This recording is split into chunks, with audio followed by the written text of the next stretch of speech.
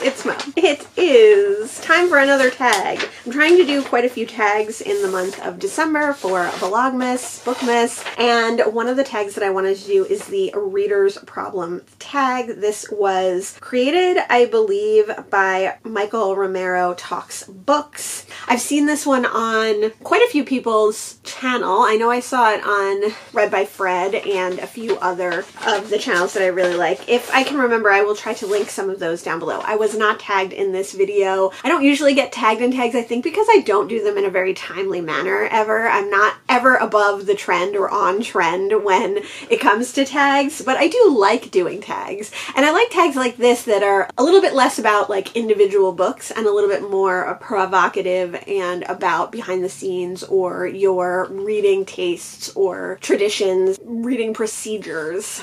So, question number one is you have 20,000 books on your TBR. I'm, I'm pretty close. I have like 700 books on my TBR. How in the world do you decide what to read next? I'm a mood reader and I actually did a whole video, a whole vlog where I take you along to pick out the next book and my thought process on that. It wasn't about reading, it wasn't really a reading vlog, but it was about picking the next book, how I think about picking the next book, what I do to pick the next book. So you can see that video listed down below, but a shortened version of that is that I, I don't know, I pick it however I want to pick it. A lot of times I'll look at my my recently acquired book spreadsheet, my RAB spreadsheet, and I'll see a book that strikes my fantasy and I'll get it out. A lot of times I'll search my TBR shelves. A lot of times I will have books that I had previously taken out to decide if I wanted to read them or not, and I will go through them. Sometimes I will just pick up a book and start reading it. Sometimes I will read the first couple of pages or first keep a couple of sentences of several different books to see what I'm in the mood for. Sometimes I know exactly the book that I want to read next text and I just pick it up and read it. It's all very confusing. Mood reading is not as simple as it sounds. Question number two You're halfway through a book and you're just not loving it. Do you quit or are you committed? It depends on the book. I have been trying to DNF more and stop reading when I'm not interested in a book, when I find myself, you know, getting into a slump because I'm trying to read it or I'm really struggling through a book. I think the majority of the time what I end up doing is picking up another book. I usually have a couple of books on the go. I usually have at least one audiobook and one physical book, but a lot of times I might also have a short story collection or a book of poetry or something like that. Maybe a nonfiction that's like vignette Maybe I have a nonfiction and a fiction. A lot of times if I'm struggling in a book and I have gotten halfway through, I do try to finish it, but maybe I will read something else for a little while. If I don't have that huge pile of books on the go, I might pick up a new book and put that one down for a little while and then pick it up again, or I might DNF it. I usually don't fully 100% DNF for a while. Like a, almost all the DNFs I've had, I will put on a DNF shelf and I will leave it there and if I feel like it, I'll come back to it in a couple of months or a year, or I will leave it there and at the end of the year I will get rid of it unhaul it. Sometimes it goes back on my TBR, depending on what kind of book it is. Sometimes it goes back on a read shelf, depending on what kind of book it is, if it's like in one of the collections of books that I have. I should DNF more. I think I should DNF more. I think DNFing is not a bad thing. So when I'm halfway through a book and I'm struggling, usually I just keep struggling. Question number three. The end of the year is coming and you're so close, but so far away on your Goodreads reading challenge. Do you try to catch up and how? Every year that I've been on Goodreads, every year that I've set a Goodreads challenge, I've set a very reasonable challenge for myself and I have completed it. This year I have surpassed it to an extreme degree already. But I think that if I were in this situation, no, I wouldn't try to make it up. I mean, maybe a little bit, like if I were 20 books behind, maybe I would try to read some short books to like be a little less behind. I mean, there's a whole discussion to be had about reading too much and about gamifying your reading so that you're not enjoying your reading but only trying to meet those number goals so I think hopefully if I were way behind on my Goodreads challenge, I would just read what I read and that would be it and adjust my challenge for the following year. Question number four. The covers of series you love do not match. How do you cope? I don't mind if the covers of series that don't match. I mean, I definitely, there's some series that I like to have the ones that match. Like I'm super glad that all of my Southern Reach books are the same beautiful little paperbacks because they're gonna look so pretty when they're all together. But I love to collect vintage series. I love to collect different versions of my my favorite books. So books like The Great Gatsby, I have multiple copies of. Books like Agatha Christie novels or Dorothy L. Sayers novels. I love to have multiple versions of the, especially the soft covers, especially the mass market paperback covers. So I don't mind if series don't match. It is satisfying when they do match though. Question number five. Everyone and their mother loves a book you really don't like. Who do you bond with over shared feelings? Booktube, of course. I like to have discussions about books that someone likes and I didn't like, or that I liked and someone didn't like. I find that to be interesting. Just because you didn't like a book that I liked doesn't mean we can't have an interesting discussion on it. But there's no one that reads the same kind of books that I do enough. Like my dad reads a lot of the same kind of books that I do, but he also reads a lot of different books. So there's no one that I can talk to enough besides my booktube community and my booktube friends to really like commiserate with when that kind of thing happens.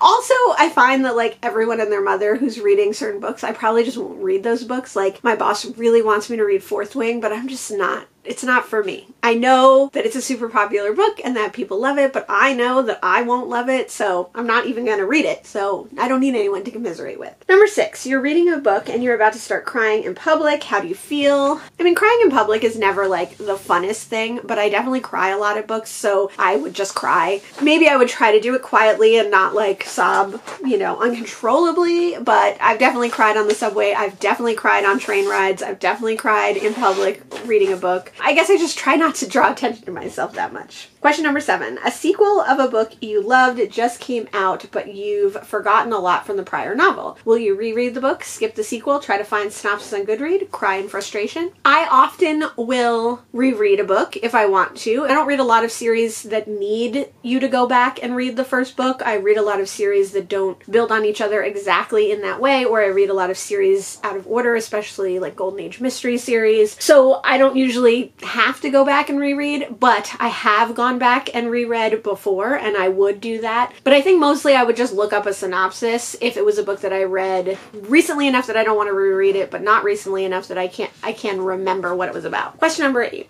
You do not want anyone, anyone borrowing your books. How do you politely tell people nope when they ask? I don't really have this problem. One, I like to lend out books. I do sometimes lend them out with the idea that I'm not going to get them back. I've had that happen quite a bit. So I don't lend out like my favorite versions or my favorite copies of things. And some people that I lend books to, I do, if I'm lending out my favorite copy, make sure that they know that and make sure that I want my book back. My BFF has one of my all time favorite books, The Raw Shark Text, right now. And I do sometimes think about it and hope that he's reading it, but also hope that I get that copy back because I do love it. But I wouldn't lend out a book, you know, a version that was like my favorite or my original copy or something like that that I didn't want to get lost. If I know that if I lend out a book, it might get lost and never come back to me, and that's okay. But I don't really have that problem very much. I only lend books to about like two or three people, and they're not, they don't tend to be like my all time favorite books, or they are books that I can certainly get another copy of at a certain, at some point. Question number nine. You've picked up and put down five books in the last month. How do you get over your reading slump? I'm feeling a little right now, honestly. I'm in a little bit of a reading slump,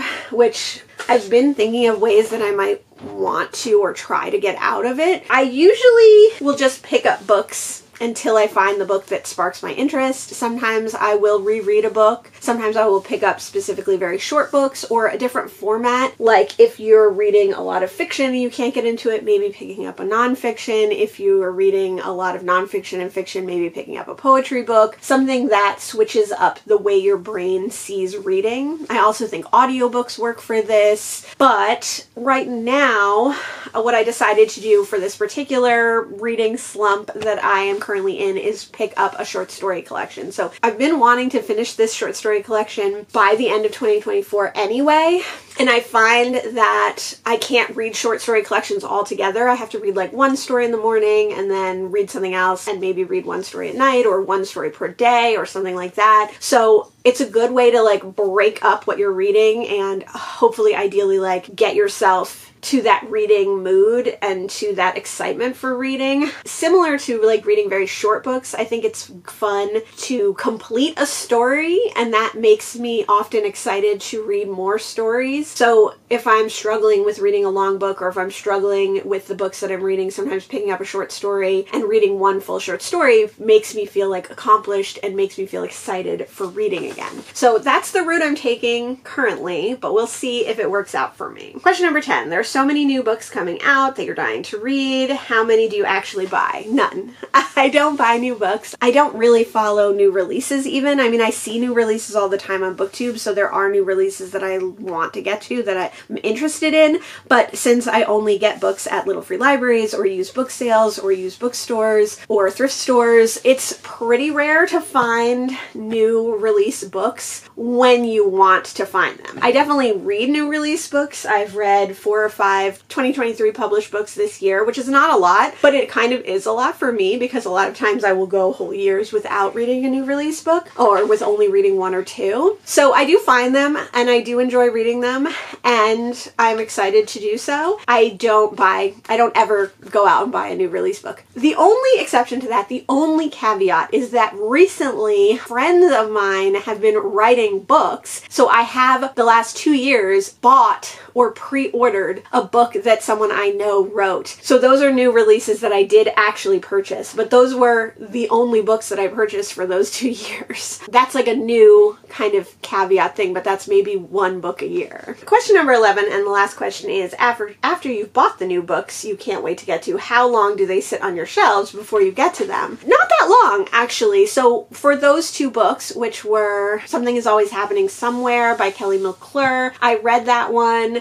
just a few weeks after I got it or a month after I got it. I did a vlog about reading my first ever pre-order. That was super exciting. I will try to list that down below. That was in 2022. And then this year in the end of February, I bought Jessica Haas The Lakeside Cemetery. That's Jess the Book Freak right here on BookTube. And I was super excited to get to it, but I did wait a little while for that one. So I think I got it in early March and I didn't end up reading it until last month, October. So a few months. When I have new releases that I pick up randomly, free, or from used establishments, from used, from places used, it depends. Sometimes I read them right away. I read, I picked up The Writing Retreat the writing retreat this year and I ended up reading it just a few months later. Sometimes it'll be the next year. I got The Daughter of Dr. Moreau late last year. That was published in 2022 and I didn't end up reading it until last month. So new releases are not really a thing for me is the answer unless they're put out by friends of mine. So those are all the questions on the reader's problem tag. Those are some interesting problems to have. What are some problems that you have as a reader. I think my biggest problem is that I have so many books that I want to get to and not enough time to get to them all or not enough brain capacity to get to them all. I think definitely getting into slumps can be a problem for me. I think wanting to talk about all the books that I've read and having a limited amount of outlet to talk about them. I do get to talk to my husband, I do get to talk to my friends who read, I do get to talk to my father, but uh, like I said, because I'm primarily a back list reader and because I read such a wide variety of genres and books, it's hard to find someone who's found the same books. I love booktube for that and the community for that, but it is a little bit one-sided here too, you know, because a lot of times it is just me talking to a camera, which is better than nothing. But it's a reader problem, I would say, being able to talk about all the books that you want to talk about and being able to read all the books that you want to read. So let me know what your problems as a booktuber are. Let me know the answers to this tag in the comments down below if you don't have your own booktube or consider yourself tagged. This tag has been going around for quite a while so I'm not going to tag anyone specifically for this one because I know a lot of people that I watch have already done this one but if you are watching this and you would like to do this tag I would definitely tag you. Thanks so much for joining me today and I'll see you in the next one. Bye!